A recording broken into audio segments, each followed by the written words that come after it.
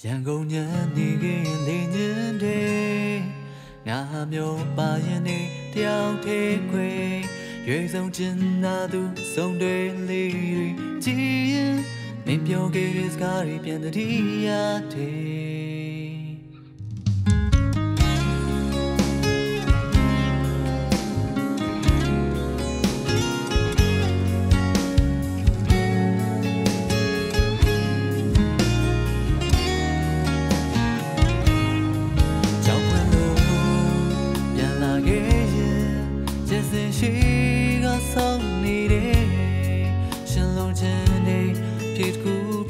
家。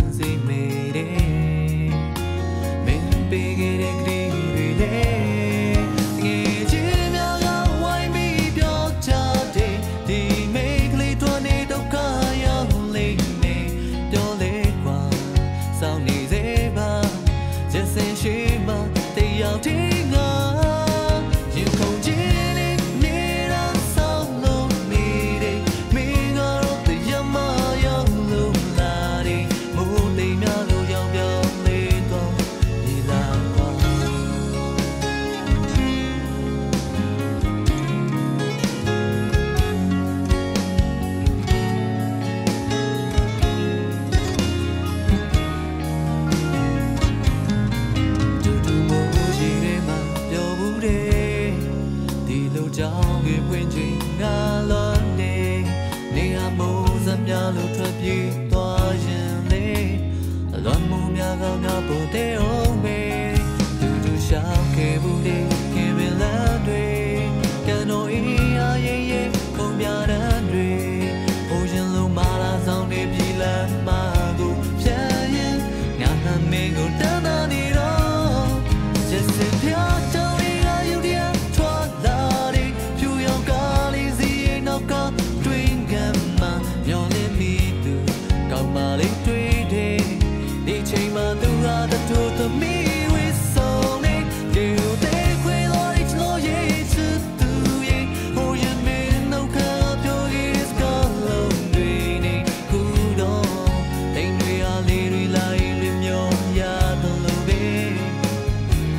差しが